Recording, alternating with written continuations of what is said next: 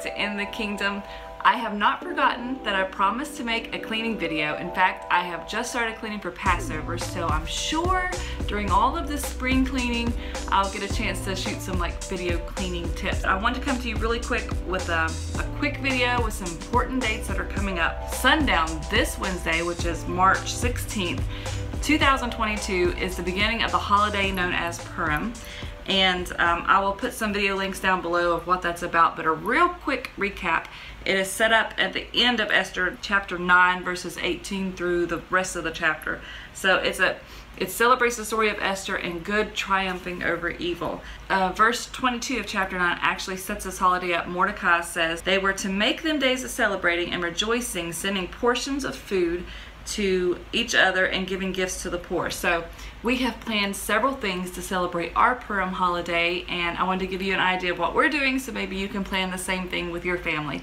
On Wednesday we are actually um, giving to the poor. We are serving at um, a food distribution place um, to the homeless in our area. So that was already set up for this Wednesday. And uh, we thought, well, isn't that just perfect? It falls on the beginning of Purim. The way that you could do this is find maybe a few distribu distribution place in your area or you can find some shut-ins in your area like elderly people who don't get out and see if you can help them with something or see if you can give them some food. It's a day to like turn, to bring joy to someone who is suffering. On Thursday, I have some friends coming over. That was already set up and so I'm gonna see if they'll do something silly with me because, you know, it's Purim, so hopefully they will. Hopefully they'll play along. Um, but we're having like a study group, so that's already happening on Thursday. So our big plans are happening on Friday and Saturday. Friday I am making Hamantaschen cookies, which I'll put a video link down below of how I make those cookies. Um, I'm inviting some friends over to help me make some. And then on Saturday, we are having a huge kids carnival. So I'll put a video down below of everything else about Purim and actually the there's a video down below of the plans we wanted to do last year, but we had COVID and we had just moved in. So we're actually probably doing something more like that this year. Bring your own burgers and dogs or whatever and a side dish so that, you know, that way you don't have to provide all the food, you know, if your guests are helping bring some of the food. So they're bringing their own burgers and dogs. Um, mine will be vegan, of course. And then there will be an interactive retelling story of Esther. I'm going to call people from the audience to help act it out. Um, also, costumes. It's a costume party. So Esther was in disguise. So it's kind of traditional to dress up for um, Purim.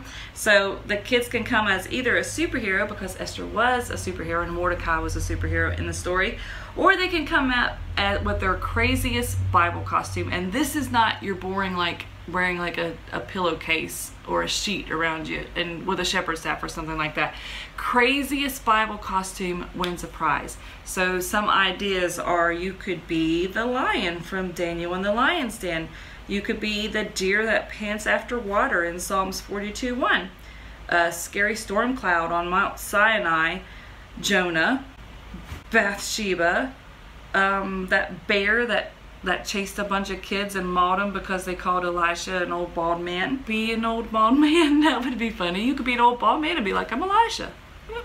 I want to show you the decor that I got, but I left it over there, so hold on just a minute. Okay, so I've been collecting stuff, especially since we didn't get to do this last year. I've got some confetti. Don't know if I'll use that because then I'll have to clean it up. But there's confetti. I've got some old medals I'm going to spray paint for prizes for the um, for the uh, carnival games. So there's that. This is a welcome sign my sister made for our housewarming party. Um, I thought it was cute. And it's kind of in our th carnival theme color. So we're going to use that for decoration. Um, this is a happy Purim sign. I think I got from Amazon. It's real pretty. I'll try to put a picture of it up in the video. Um, these are some banners, flag banners think I got from Party City maybe. And also a chandelier. I think it was in like a Fiesta party section.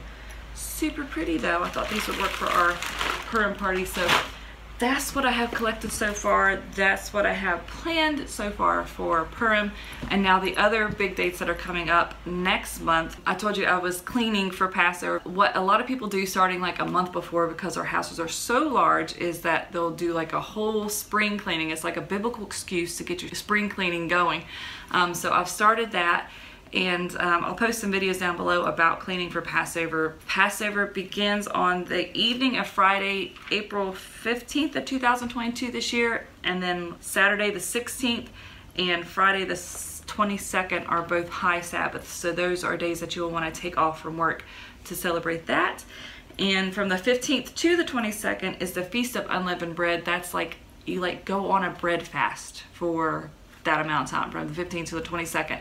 And um, in the Bible, it says that you're not even to have leavening in your house, no bread products in your house. So it's like a good little bread fast, you know, which will be hard for me because carbs are my favorite. So that's what I love to eat. That and vegetables are my major food group. And then the Feast of First Fruits is on the 17th, and that is when Yeshua rose from the dead, being the first fruits of those who enter into the eternal kingdom. Besides cleaning the house, what I'm doing to prepare for that already is I always like to get a special um, serviceware and special place settings and stuff, something decorative. We have a lot of people come over for our Passover day um, celebration. And so I'm gathering like special recipes and stuff like that. So I'm sure I'll have videos for that up for you guys too.